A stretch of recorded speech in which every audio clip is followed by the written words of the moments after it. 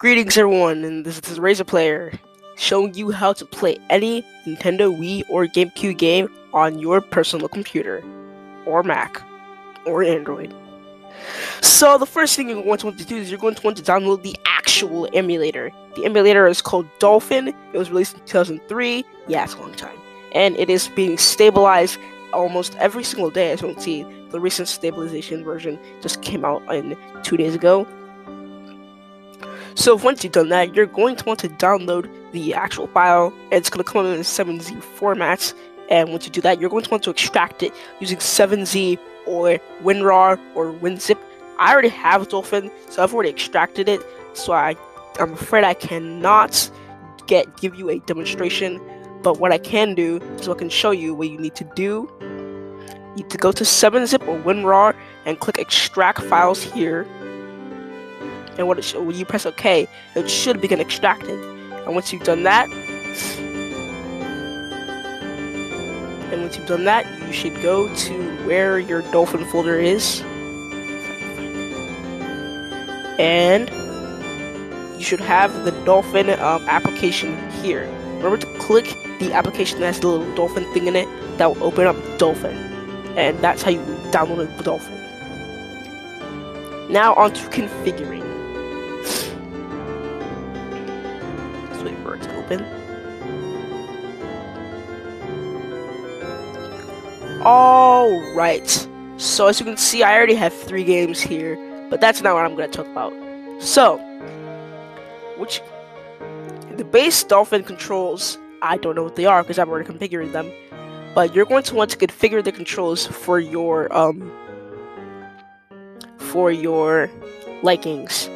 And you can also go to controllers to use actual controllers, like an actual gaming controller, an actual Wii controller, but it's just easier to use an emulator controller with the ZX buttons and stuff.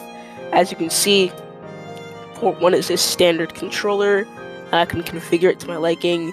Z is A, X is B, Y is A, and S is X. So once you've configured that to your liking, you're going to want to X out, and now it's time to find some games. Now, I cannot tell you where to find games because YouTube will knock on my door and shoot me because it's illegal. But I can give you some hits. When you're ROM hunting, you should always, always have an antivirus an antivirus uh, software installed on your computer. Uh, as courtesy of the Shniglox papers, I'll give you a link to Kaspersky free, which is what I use in the description. And you should always use, and just just for extra protection, you should use browsers like the new Microsoft Edge beta that I have pinned right here, or Google Chrome. Don't use Internet Explorer. Don't when you're on it's just outdated. So once you have your files, as you can see, I'll, you can go to Dolphin ROMs, and I have my files here.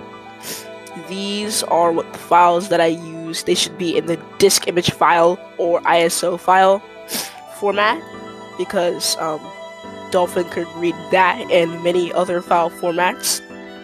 But once you have the game, what you're going to want to do is you're going to want to when it's here, you're going to want to open it up.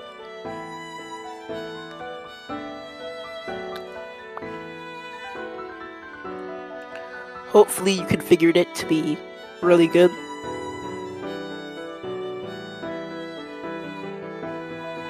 Alright.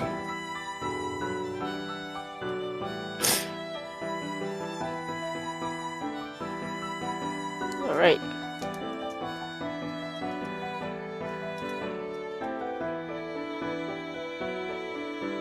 And this is Fire Emblem Radiant Dawn for Nintendo Wii.